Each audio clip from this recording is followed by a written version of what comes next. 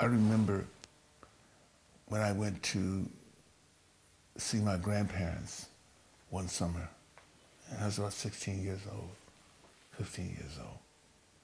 And it was the middle of the uh, middle of a period during the civil rights movement in the U.S. where young people were taking a very, very specific, making a specific statement and stand, and leadership within the movement.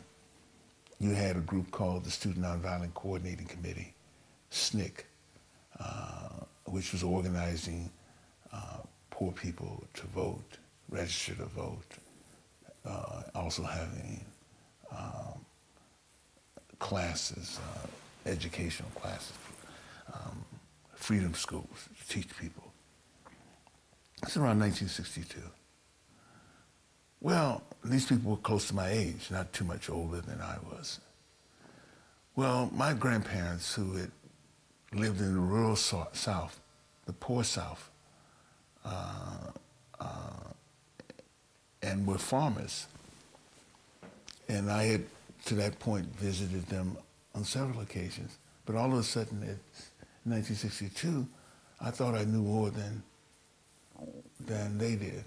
Or I thought that, I felt that the position that they had taken with respect to uh, the struggle with big quotes around it was one in which they essentially capitulated, or they were, they were archaic. They were dinosaurs. They were, they were uh, a pop, whatever they were, all the kind of things I can think of.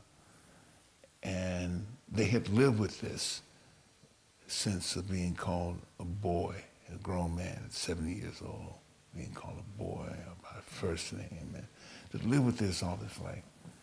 I mean, what the hell did I know? You know, my grandparents were born in a period, and if they had not existed within the social framework or tried to live and exist within the social context and make choices to protect themselves and sustain themselves, they wouldn't have been gave birth to my mother, perhaps, or been able to raise my mother in a way that she went to college, then left the South, and build a life and a family away from the South. I mean, she didn't, she wasn't in denial of her experience because she always went back to the South, but she was able to lead the South. Now, who am I to condemn the choices that they made? You know, the choices that they made could have been devastating for them personally and as a community, as a community. Yet they, they, they, they were the ones who who stood and withstood the harshness of everything that allowed a new generation to be a little bit more, a little bit more bold in their own aspirations and what their own dreams could be, starting with my mother. My grandparents, my mother's mother and father, never been past the fourth or fifth grade because they had to work in the fields and pick cotton and work all the time to survive.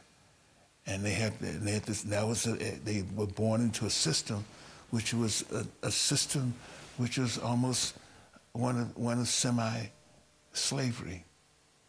And the system they were born to was the, the application of, of, of, uh, of, of uh, uh, new, new rules after the end of slavery. That's what my grandparents were born into.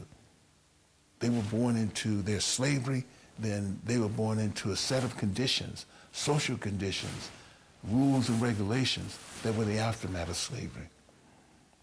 So they lived by that. Their whole acculturation was that. And yet within that, they had the foresight and the vision to do whatever they could to send their daughter to college. She became the first one to graduate from college.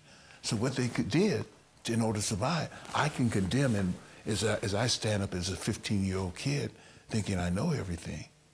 But at the same time, what they did was one in which they sustained and build in order for people to come up later and to grow and prosper from that. That's, that's my lesson that I learned.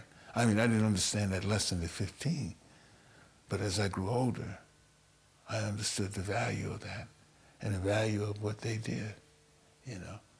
I mean, who knows? You know, you know I always tell people that, that I'm here, that when I'm in front of an audience, I often tell people that uh, I'm here because my mother didn't have to pick cotton in September. She went to school in September and October.